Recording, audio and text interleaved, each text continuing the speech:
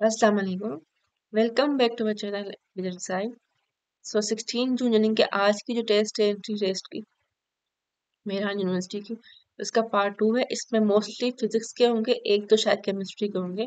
I will try कि next video में इंशाल्लाह जो है, जो फिजिक्स के रह गए इस वीडियो में, वो और कुछ इंग्लिश के अगर मैथ के भी मिल जाते हैं तो वो मैं फिर डिस्कस कर लूँगी। अगर आपकी किसी की टेस्ट थी आज और आप लोग शेयर करना चाह रहे हैं तो फिर जो है आप मुझे व्हाट्सएप कर लें, मैं वहाँ पे जो है आपको रिप्लाई कर दूँगी। आप मुझे वहाँ पे से भेज दीजिएगा तो मैं जो है वो एमसीक्यू पे लगा दूँगी।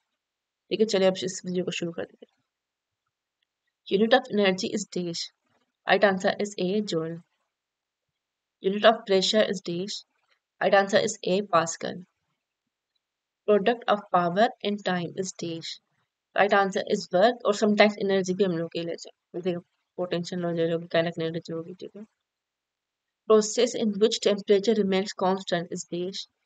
या फिर अगर मोर प्रिसाइसली देखें कि इंटरनेट पे ये वाला नीचे एमसीक्यू मिला था the thermodynamic process in which the temperature remain constant is this right answer is isothermal कल ये मिस्टेक मुझसे हुई थी कि मैंने जो है जब वो आइसो कॉर्नर की जगह थर्मल कर दिया था तो वो मैंने पार्ट टू में सही कर ली थी वीडियो एमसीक्यू ठीक है तो ये आइसोथर्मल टेम्परेचर जब कांस्टेंट होता है तब होता है attraction between body and earth is defined by तो उसका मोर प्रिसाइज जो वर्जन है एमसीक्यू का जो मुझे नेट पे मिला था शायद इस तरह से आया होगा पेपर में of force of attraction between the body and earth is dash so right answer है gravity charge that flows in one second and produce current of 1 ampere is equal to so right answer is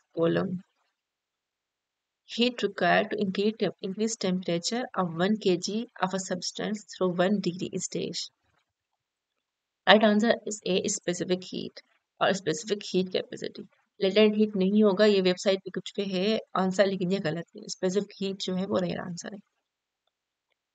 Vector quantities defined by magnitude as well as dash right answer is A direction vectors में direction लाजमी होता है। तभी पता चलता है कि vector है या फिर स्केलर है। एट इक्विलिब्रियम ऑल फोर्सेस अच्छा ये वेक्टर में होता है स्केलर में फिर सिर्फ़ क्या होता है, फिर ये भी आप देख लीजिएगा, क्योंकि अगर एक बार ये आया है तो दूसरी बार स्केलर आ सकता है। At equilibrium all forces and torques are equal to dash so right answer is B zero that trajectory of projectile motion is like a dash shape किस तरह का होता है तो राइट आंसर इसका B parabola in physical M A M is dash वैसे तो वो मास है, लेकिन कौन सा मास? तो उसका राइट आंसर है ए इनर्शियल मास इस पेपर में सिर्फ़ मास ही पूछ सकता है तो अगर सिर्फ़ मास पूछता है तो फिर आप जो है सिर्फ़ मास बताने का इनर्शियल मास तब जब जो है वो मुश्किल करके पूछते हैं तो इस हिसाब से। Through and fro motion is called right answer is A oscillatory motion ये कौन सा सिंपल पेंडुलम में जो इस तरह से इस तरह से मूव होता है इसको टू एंड फ्रो मोशन कहते हैं। वाइब्रेटरी मोशन देख लीजिएगा पहले आया था उसका था सिंपल हार्मोनिक मोशन इस तरह के और कौन कौन से मोशन होते हैं ये सारे भी देख लें आप। Waves to require medium for traveling are called waves right answer is a mechanical waves ये भी देखे कि इलेक्ट्रोमैग्नेटिक वेव्स किस चीज़ में काम आता है या फिर किस तरह से होता है ट्रांसफ़र वेव्स कौन से होते हैं लॉन्गिट्यूडल कौन से होते हैं कौन सी चीज़ में कौन से वेव्स होते हैं मतलब साउंड में होते हैं लाइट के होते हैं कौन से होते हैं। X-rays travel with speed of light in days. Right answer is A straight line. अब X-ray किसने जो है वो डिस्कवर किया था इस भी जो है आंसर इसका भी देख लें General formula for alkyl halide is dash. The right answer is C CnH2n plus 1 into X. Period of audible sound wave is dash. अब असल में ये था कि इसमें जो है सिर्फ़ इतना ही क्वेश्चन बताया हुआ था स्टूडेंट ने तो अब उनको नहीं याद पूरा कि कौन सा क्वेश्चन आया था तो मैंने जब इंटरनेट में सर्च किया तो कहा कि कहीं पे भी इस तरह से नहीं होता, ठीक है? फ्रीक्वेंसी हमें पता है कि ट्वेंटी हर्ट से ट्वेंटी थाउज़ेंड हर्ट्स तक होती है, सही है? ऑडिबल वाली। तो फिर अगर हम टाइम पीरियड फाइंड करेंगे तो ज़रूर फ्रीक्वेंसी दी हुई होगी। तो मैंने सपोज़ किया कि फॉर एग्जांपल हमें ट्वेंटी हर्ट्स जो है फ्रीक्वेंसी मिली हुई है तो हम simply one divided by twenty करेंगे।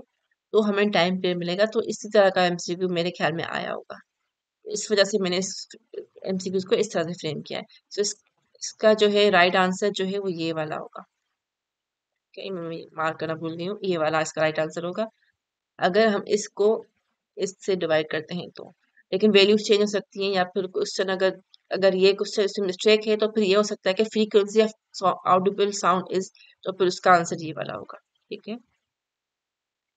ये तो फिर कल भी आया था। Age of earth is dash अब एज ऑफ़ अर्थ सेकेंड्स में बतानी है। तो उसका राइट आंसर है one point four three three into ten power seven second तो आप बाकी में भी देख लीजिए कि आवर्स में क्या होता है और सारा कुछ ना, ताकि आपको जो है वो कंफर्म है। और वेट ऑफ़ अर्थ भी देख लें, ये मास वगैरह जितने भी होते हैं ना, ये भी चीज़ें देख लें। ग्रेविटेशन कॉन्स्टेंट की भी ग्रेविटी ये, वो सारी चीज़ें। Scientific notation can be expressed in the days the right answer is A power of ten period of vibration in a solid sorry यहाँ पे मैं ऑप्शन ही लिखना भूल गई हूँ। या फिर एक मिनट अच्छा इसका मुझे आंसर नहीं मिला था, लेकिन जिस बच्ची ने किया था पेपर उसने ये वाला आंसर दिया था।